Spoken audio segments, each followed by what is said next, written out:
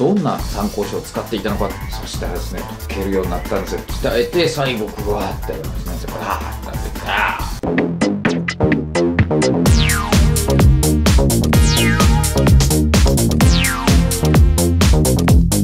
ーので始まりました、もちチャンネル。さあ、今回はですね、森鉄が使っていた参考書、紹介いたします。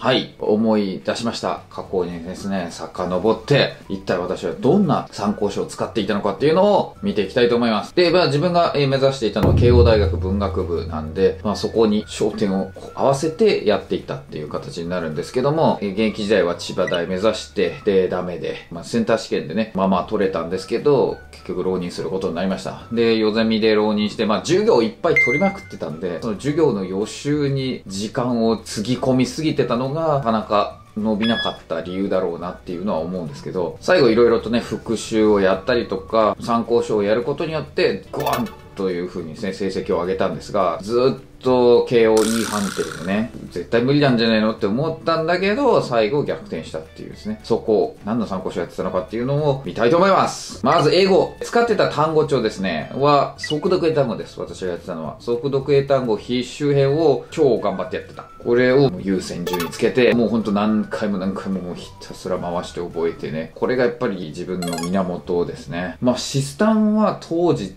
全然人気なかった。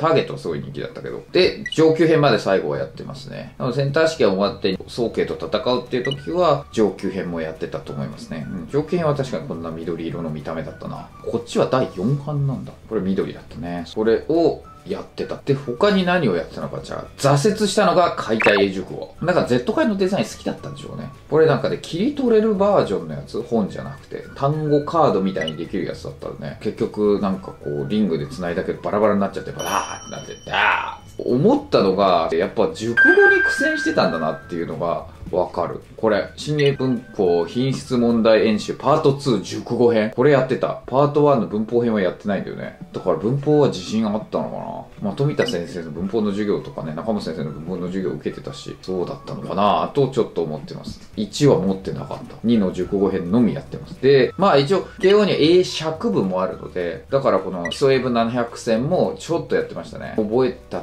っていうかすごく中途半端になっちゃったなって思ってますね。だから単語帳はめっちゃやったけどこの3つの参考書はやり込めてなかったなって思いますね。熟語得意になってもいないし。で桐原の品質英文法合法これは現役時代からやった、まあ、今で言うところのネクステとかヴィンテージとかああいうものに当たりますよね、まあ、頑張ってやってました。でまああとはセンター試験のもの。で公文とかやってないのか読解とかですね。これは基本的に夜ゼミのテキストでやってた感じですね。もう公文の授業はがっつり取ってたからやってたし、あと読解の授業でも富田先生公文を取る人だったんで、読解のものでも公文取ってたんで僕は。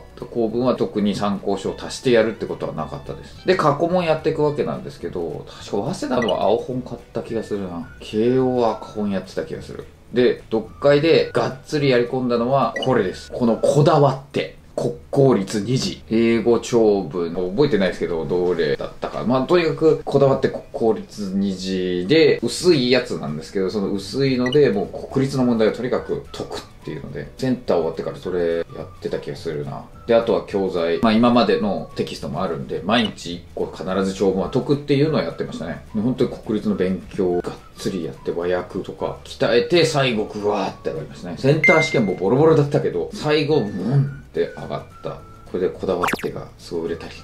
まあわかんないですけど、今の時代いろんな参考書あるから、別にこだわってにこだわる必要はありません。続いて国語ですね。現代文は本当にやってない。授業だけでやってたね。笹井先生とか船口先生とかですね。うん、よく分かってなかったと思う。現代文の勉強法とか。講習とかも取らなかったもんね。ただ小論文はがっつりやってたんで、もう小論文の授業も取りまくってたし、その授業で添削してもらってたんで、最後に知識として小論文ノートですね。代ゼミのやつ。これ分厚いでっかいやつなんですけど、これで背景知識足すっていうのをやりましたね。読んでるだけでも面白かったし。あと現代文はそうそう読んでるのが好きだったんで、そのテキストいっぱい読んでましたね。その解くのは嫌いだったけど、読むのは好きだったんで。で古文漢文がめちゃくちゃ苦手だった。うん、ほんと嫌いだったけど、古文はまあマドンナ古文単語。これを覚えましたね、230。で、まあ足りないってことで、その後にこの実践トレーニング古文単語。内容全然覚えてないけど、まあ、この2つ、これを一生懸命やってましたね。で、今、本当後悔してるのは古文文法はやればよかったなっていうのはそう思いますね。取らなかったんだよね、古文文法の授業。で、参考書とかもやんなかったんで、できるようにならなかったね。単語と読解だけで戦おうとしてたけど、いやー、今思うと古文文法しっかりやっとくべきだったなと後悔してます。で、あとは語呂文学史絵ですよ。これ文学史ですね。板野さんの名前が出てますけども、そうです。この文学やりました。語呂で、あの文学史ね、覚えるやつです。だから作品名はむちゃくちゃいっぱい知ってましたよ。どういう内容だとかまではあんまり覚えてないけど、これやってる時にね、あ、日本史にすればよかったなってちょっと後悔したのも覚えてますけどね。で、漢文はもう漢文山の山。もうこの絵がね、忘れらんないよね。まあこれ今2020年新しくなってんだろうけど、学研のやつ、そうそうそう。この三輪先生のさ、このね、キャラクターが好きでね、漢文苦手だったんですけど、まあ直前にこれをやって、で多少できた感じかな。その後当時の講師室でいつも宮先生を見ることになっていたというね。懐かしいです。